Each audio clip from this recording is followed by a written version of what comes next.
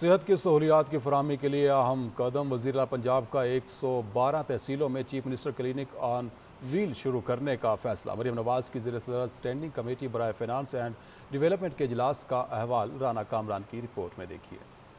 وزیر اعلی پنجاب مریم نواز شریف کی زیر صدارت کابینہ سٹینڈنگ کمیٹی برائے فنانس اینڈ ڈیولپمنٹ کے اجلاس میں پنجاب کی ایک سو بارہ تحصیلوں میں chief minister clinic on wheel شروع کرنے کا فیصلہ کیا گیا ہے۔ ایک سو بارہ تحصیلوں میں چار سو چوالیس کلینک آن ویل مہیا کی جائیں گی۔ قائد اعظم بزنس پارک شیخوپورہ کے داخلی راستے پر M two motorway interchange بنانے کی منظوری کے ساتھ چند عقیلہ چوک گجراوالا میں فلائی اوور کی تعمیر پر بھی اتفاق کیا گیا۔ سالانہ ترقیاتی پروگرام دو ہزار چوبیس دو ہزار پچیس میں ناروال کرتارپور کوریڈور سکیم پر بھی اتفاق کیا گیا، جبکہ میاں والی سے CPEC interchange Daud Khel میں ایڈیشنل کیریج وے کی تعمیر کا جائزہ لیا گیا۔ وزیر اعلیٰ پنجاب مریم نواز شریف کی زیر صدارت اجلاس میں پولیس شہدہ کے اہل خانہ کے گھروں کے لیے گرانٹ بڑھانے کی بھی منظوری دی گئی۔ سالانہ ترقیاتی پروگرام دو ہزار چوبیس پچیس میں روڈز کے میگا پروجیکٹس کی منظوری دے دی گئی۔ وزیر اعلیٰ پنجاب مریم نواز شریف کی ملتان وہاڑی روڈ دو رویا سڑک بنانے کی بھی ہدایات دی گئی وزیر اعلیٰ پنجاب مریم نواز شریف کی زیر صدارت کابینہ سٹینڈنگ کمیٹی برائے فرانس اینڈ ڈیولپمنٹ میں